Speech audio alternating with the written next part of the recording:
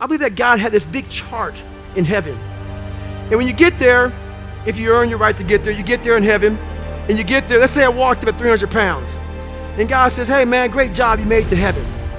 And he rips this page down from Brian Underwood. And now it says David Goggins' is chart. He rips it down, throws that paper to the side. And he says, look at this. And I'm reading it. I go, what is this? He goes, how much do you weigh? 300 pounds. What did you do? I was a pest control guy for 40 years. He says, this is what you were supposed to be. You have so much opportunities, but every single opportunity you have needs discipline. Without discipline, you will never reach your goal, and your lifetime is your potential. The more time you waste, the older you get. The older you get, the more opportunities will die. Do you understand? There are people out there who wish to be in your age again, who wish to be fit and able to chase their dreams. I hate to tell you this, but at some point you're gonna die.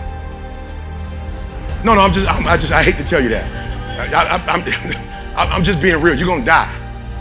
No, no, no, no, you're gonna die. So if you know you're gonna die, why are you playing it safe? Why you act like if you play it safe, you're gonna get another 30 years? If for 10 years, if you didn't avoid doing what you knew you needed to do, what would you be like? Because you're not everything you could be and you know it. What would happen if you just stopped wasting the opportunities that are in front of you? You'd be who knows how much more efficient? 10 times more efficient, 20 times more efficient. You have no idea how efficient efficient people get. It's off the charts.